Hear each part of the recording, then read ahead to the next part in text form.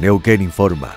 Piedra del Águila cumplió 118 años. El gobernador Zapag presidió los actos centrales del aniversario y desde allí realizó un llamado a la paz, la democracia y la armonía de los neuquinos. Convoco a toda la provincia de Neuquén, desde Piedra del Águila y a todo Piedra del Águila, que convivamos en armonía, en democracia y debatamos con propuestas. Debatamos democráticamente a partir de esa convivencia que nos debemos como integrantes de una misma comunidad para darle el ejemplo a nuestros hijos y a nuestros nietos. Jorge Zapag, Gobierno del Neuquén.